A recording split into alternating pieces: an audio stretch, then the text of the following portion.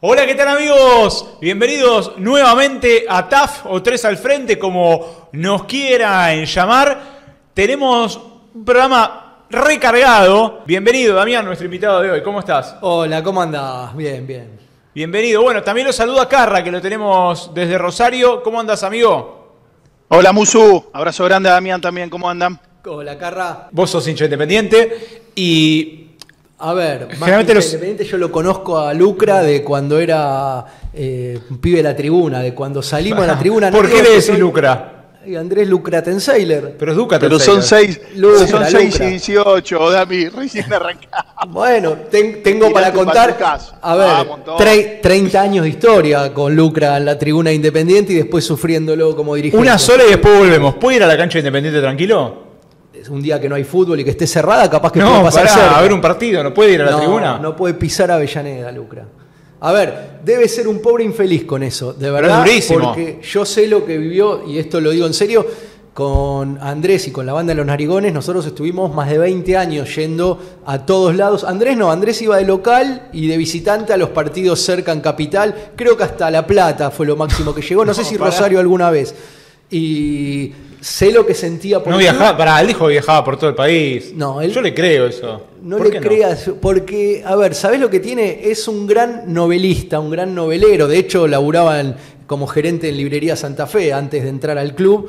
Y le encantan las historias y es un gran novelero. Te lo digo porque le, le conozco un montón de, de historias que inventa o historias que roba. ¿Qué quiero decir que roba? Viajes que nosotros hacíamos, que le contábamos cómo nos había ido y las historias de esos viajes, después se las apropiaba, las contaba como propias y le sumaba siempre un plus, que era muy divertido. ¿eh? Vos escuchabas la misma historia con el correr de los años y cada vez que la contaba tenía un plus nuevo en donde él era protagonista. No, pues es un montón de lo que me está diciendo. No nos van a casar a dos Horas. verdades. Yo sigo yendo a la cancha, tengo los amigos de toda la vida, eh, hago lo que quiero en Independiente, nunca fui dirigente, nunca fui comisión directiva, nunca me quedé con una moneda, yo no sé si él puede decir lo mismo. Eh, entonces digo, ¿por qué no contestarle? Y la verdad que la gente quiere barro porque era lo que me pedían. ¿eh? Sí. Empecé a hacer videos de otra cosa y me decían, no, matalo a Lucra, matalo a Lucra.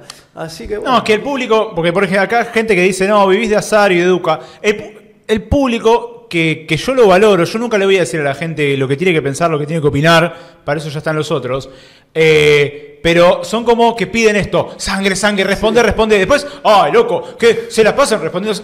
O sea, es difícil, obviamente no vamos a contentar a todos, por eso empezamos el programa con, che, esto está mal, no puede jugarse el fútbol un lunes y un martes. Che, pasa esto con Barracas, está muy mal. Les pregunto en el chat, ¿cuánta gente habla de Barracas? ¿Cuánta gente habla de Chiquitapia? Porque hay algunos que decidieron no hablar, que, que son antisistema hasta Tapia. Y no, ahí son se terminó el antisistema. Es más, vos antes me preguntabas Sí. si él podría volver a la cancha independiente y yo te dije que no. Y ahora me voy a contradecir. ¿Sabés cómo podría volver a la cancha independiente? Si vuelve el público visitante con la hinchada de boca. Ahí sí puede venir a la cancha independiente. Venir con la camiseta de boca y con la 12 caminando, porque íbamos caminando. Él ha venido con nosotros y esto sí es verdad. Las veces que fuimos caminando a la boca, antes cuando iba el Sí. público visitante, Independiente salía caminando como muchas barras cuando te quedaba más o menos cerca. Era hermoso salir de Avellaneda y cruzar el puente caminando y llegar a la boca caminando. De hecho, hemos ido juntos. Tenemos aquella famosa historia de cuando nos recibieron a los tiros y salió la canción de Pusimos el pecho a las balas y entramos igual. Andrés estaba ahí. En esa sí te, te doy la derecha. Ahora, de la única manera que podría volver a la cancha Independiente en un partido oficial es con la 12 caminando al revés. Él antes iba de Avellaneda a la boca, ahora vendría de la boca a Avellaneda. ¿Con ustedes cómo era siendo presidente? ¿Se acordaba de los antecedentes de haber sido la banda de los narigones, de viajar o, o de ir juntos a la cancha o, o le- les marcó la, la distancia? No, a ver, no le hubiésemos permitido que no se acordara. Nosotros entrábamos a presidencia sin golpear la puerta del club, o sea, era uno más. Hasta que empezó a hacer cagadas, hasta que empezó a hacer todo al revés. A ver, por ejemplo, nosotros decíamos basta de representantes en el club. A los jugadores, Independiente quiere un jugador, lo tiene que ir a buscar el club porque el representante muerde. Bueno, pregúntame qué hizo Andrés con los representantes. Se pegó a un representante, a uno solo, eh, que me acuerdo se ponía cadenitas como un árbol de Navidad, le colgaban las cadenitas de oro y todo al representante. Todos los jugadores pasaban por él, trajeron desastres, porque nos fue muy mal. Digo, él eh, que se, ah, se vanagloria de su época de presidente, pero futbolísticamente nos fue muy mal. Pero, haciendo ¿Cuál todo crees que vos la razón para que se vaya antes. No hay peor archivo que el que él mismo hizo, porque en algún momento alguien le dice, bueno, ¿y quién pagó todo eso? Porque él lo cuenta cagándose de risa. Eh, le di cheque voladores a todos, porque aparte eran todos boludos, ¿no? Él cuenta eh, que Ruggeri como técnico, es una gran nota Ruggeri para que hable de esa época, que Ruggeri como técnico y todas primeras figuras que había en el club, él les mentía y les daba autos sin darle los papeles y que con eso armaba el equipo y peleaba el campeonato. Ahora, alguien le dijo, bueno, pero todo eso se pagó en algún momento. ¿Cómo hicieron? Ah, sí, bueno, son deudas que habrá pagado Independiente en algún... Claro, son todos los juicios que tuvimos después. Digo, eso no es gratis. No fue buena, porque cuando él dice mi gestión fue buena, yo te digo, nos llenó de deudas y de juicios. No digo que empezó con Andrés, pero más o menos, ¿eh? La debacle futbolística y económica de Independiente más o menos empezó por ahí. Después se fue potenciando con otros, sí es cierto. A algunos les da para una cosa y a otros les da para otra.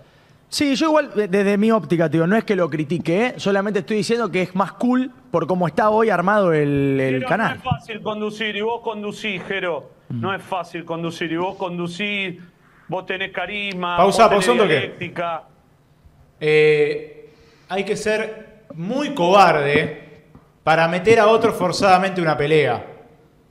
Porque esto de, decir, de elogiar a Jero para criticarme a mí es muy de cobarde. Jero es crack, de hecho mil veces más que vos, Azaro, pero mil veces más que vos. Eh, aparte porque estudió. Pero eso de meterlo para pegarme a mí, pegame vos. ¿Qué tenés que usar a Jero? Que, la verdad que se portó como un señor, se contuvo, tragó saliva y siguió.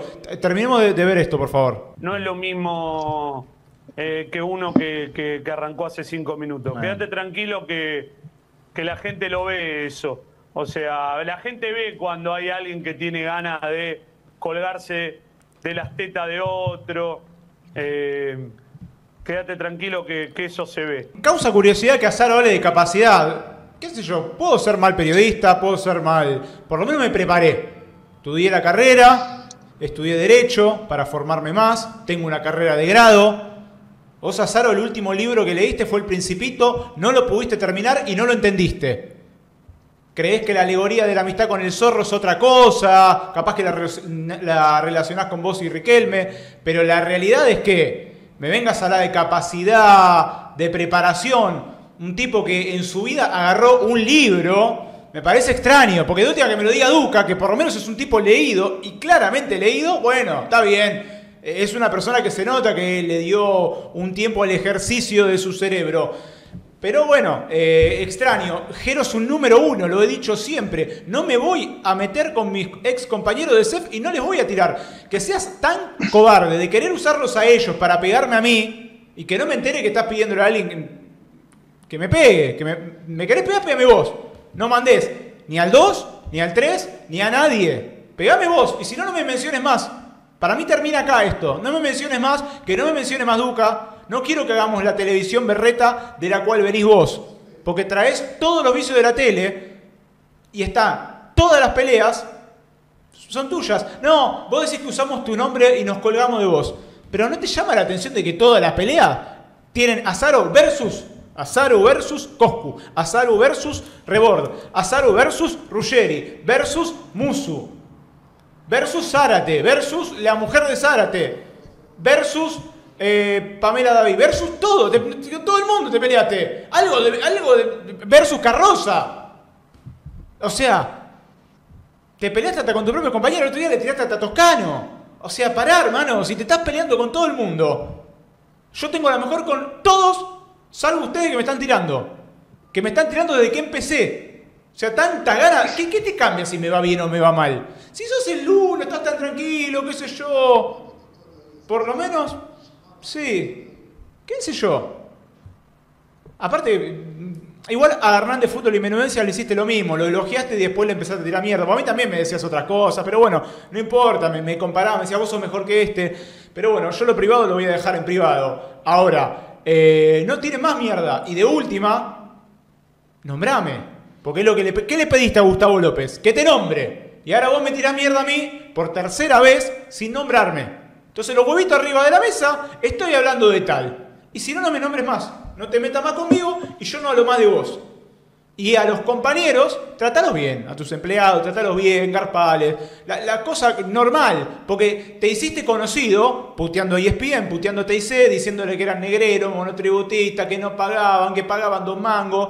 Bueno, te transformaste en lo que juraste destruir. En un nuevo sistema que defiende a capa y espada a un par de dirigentes y a un par de grupos de personas que todos saben quiénes son y atacás rotundamente a todo lo opuesto. Todo lo que está en contra tuya es culpa de Macri, del jeque árabe, de Gaudio, porque seguramente... ¿Cuánto falta para que me relacione con Macri y que diga que esto lo banca Macri y que a mí Macri me está mandando a criticarlo? Y no me hablé más de capacidad, por favor. Porque la realidad, que, que me lo diga Jero, que es un tipo muy estudiado, me la bancaría. La verdad que Jero es un tipo muy leído, muy estudiado, sabe un montón de cosas. Ahora vos, Azarito, eh, que el último libro que leíste no lo entendiste, no, dejate de joder. Pero bueno, Y mira, lo invito a Lucra a hacer un debate, si quiere, cara a cara en la alerta roja en la cancha independiente. Si él dice que puede ir a la cancha, vamos a la cancha independiente. Un día de partido sería mejor. Y si no es contra Boca para que no venga con la 12, eh, mejor ¿irías todavía. al loco de acuerdo? ¿A disertar? No me van a invitar. No, no me van a invitar. Yo iría. eh, Yo no tengo nada que esconder con nadie. Con Flavio tengo O sea, buena onda. A, hacer un- a- a tener un debate con Duca en cualquier lugar. En cualquier lugar. Si es en la cancha independiente un día de partido, mejor. Gracias, Damián. No, por Eh, Y bueno, gente, nos vemos el miércoles a las 10 de la noche. Hasta luego.